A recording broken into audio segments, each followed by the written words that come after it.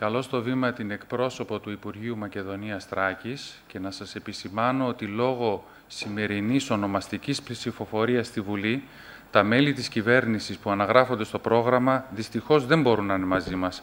Πάρα αυτά, έχουμε υπάξιους αντικαταστάτες τους και το Γενικό Γραμματέα του Υπουργείου Τουρισμού μαζί μας, τον κύριο Τζιάλα.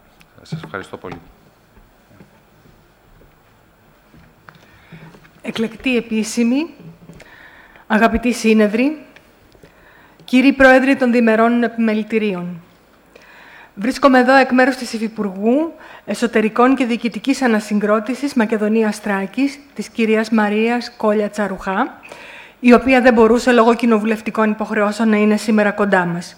Μου ανέθεσε όμως να έρθω εγώ και να μεταφέρω το χαιρετισμό της και ήρθα κατευθείαν από την υπηρεσία κατεντολή της με πολύ χαρά και είναι ιδιαίτερη τιμή μου να σας τον διαβάσω. Κύριοι Πρόεδροι και εκλεκτοί παρευρισκόμενοι, το Διεθνές Συνέδριο Τουρισμού, με ειδική αναφορά στη Βόρεια Ελλάδα και στην τουριστική δραστηριότητα που μπορεί να αναπτύξει καθ' όλη τη διάρκεια του έτους, αποτελεί εξαιρετική πρωτοβουλία με ιδιαίτερη σημασία για τον τόπο μας. Οι διεθνείς εξελίξεις επαναπροσδιορίζουν τον τουριστικό χάρτη της ευρύτερης περιοχής και δημιουργούν μια σημαντική ευκαιρία στον ελληνικό τουρισμό να δράσει ανταγωνιστικά και να αναλάβει μεγάλα ποσοστά του τουριστικού ρεύματος.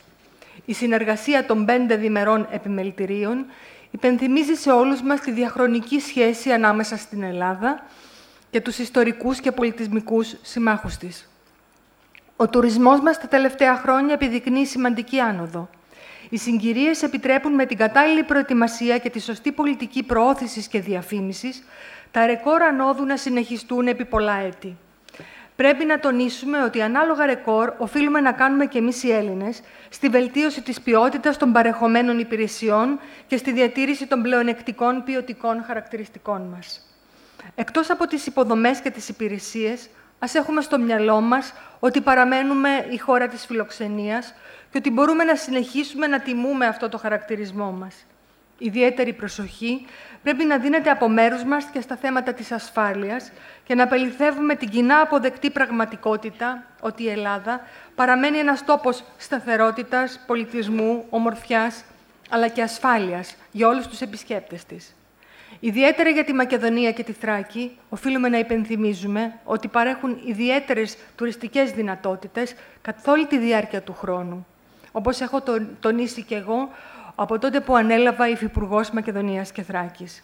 Σας ευχαριστώ για την πρωτοβουλία σας να μεταφέρετε και να ανταλλάξετε τεχνογνωσία με τους εγχώριους οργανισμούς και εταιρείες και εύχομαι στη διάρκεια του συνεδρίου να αποκρισταλωθούν πολλές και ενδιαφέρουσες ιδέες και προτάσεις για την ουσιαστική αναβάθμιση του ελληνικού τουριστικού προϊόντος, το οποίο έχει όλες τις δυνατότητες και τα χαρακτηριστικά εκείνα, ώστε να ξεχωρίζει διεθνώς.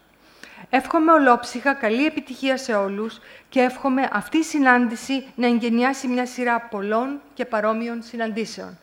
Καλή σας επιτυχία!